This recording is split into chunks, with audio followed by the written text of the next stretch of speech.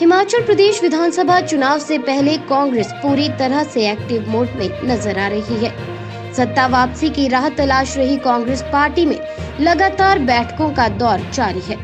Akhil Bharatiya Congress committee की ओर से नियुक्त किए गए पर्यवेक्षक भूपेश बघेल, सचिन पायलट और प्रताप सिंह बाजवा समेत आला कमान हिमाचल कांग्रेस नेताओं के साथ बैठक कर रहा है। वहीं हिमाचल कांग्रेस के लिए नियुक्त किए गए पर्यवेक्षक प्रताप सिंह बाजवा ने कहा कि हिमाचल की मौजूदा सरकार से हर वर्ग परेशान है। ऐसे में कांग्रेस का सत्ता में वापस आना तय है।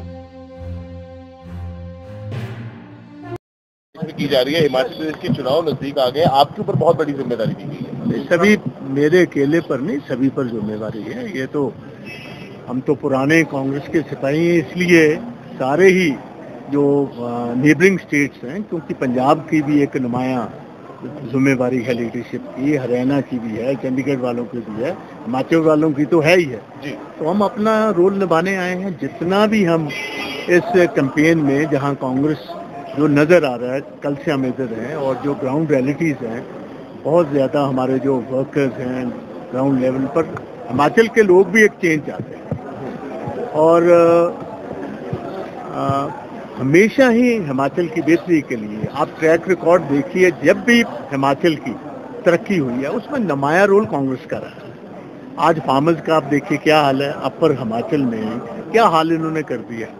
दूध पर, पनीर पर तो इन्होंने जीएसटी लगानी थी, जो पैकेजिंग है एप्पल्स की, वहाँ भी लगा दी है। और पेंशन की बात है।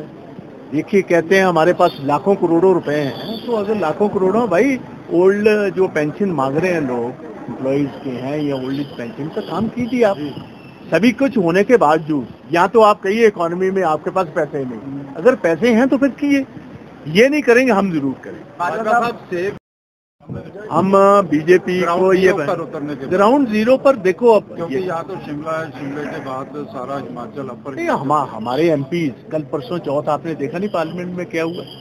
प्राइस राइज पर किसानों के मुद्दों पर ही देखिए राहुल गांधी जी प्रियंका गांधी जी सभी के सभी वहाँ कोर्ट अरेस्ट किया है। सभी कुछ हुआ है तो ये सभी मुद्दों पर ही कर रहे हैं। और मुझे पूर्ण विश्वास है कि जब कांग्रेस की जब गवर्नमेंट आएगी ये जो जीएसटी इन्होंने लगा रखी है we will force them to withdraw Badal साहब आपने चेंज नहीं वो मैं यही ज़िक्र कर रहा हूँ कि बजाय तो किसानों को कुछ दें मिनिमम सपोर्ट प्राइस या किसानों को कुछ बेटर प्राइस एप्पल की दें वो तो सेब की बेटर प्राइस तो दे ही नहीं रहे पैकेजिंग पर भी इन्होंने टैक्स लगा दिए बेसिकली आप एक मोटी तरह बात समझ लीजिए बीजेपी जो है ये किसानों के वैसे ही खिलाफ ये पार्टी जो है आप इनका हर काम देखोगे। मिनिमम सपोर्ट प्राइस हम तो क्योंकि पंजाब से हैं जो तीन काले कानून थे कैसे वापस लिए? और आज भी जो सेक्रेटरी एग्रीकल्चर का था मिस्टर अग्रवाल जो काले कानून लेकर आए थे उनको एमएसपी का चेयरमैन लगा दिया। तो बेसिकली सारे हिंदुस्तान सेब की बात कीजिए या लोअर हिमाचल में भी बात कीजिए या अपर हिमाचल में कीजिए जहाँ जहाँ भी किसान है ये किसानों के खिलाफ सेबों सेबों के ऊपर क्या कांग्रेस किसानों के लिए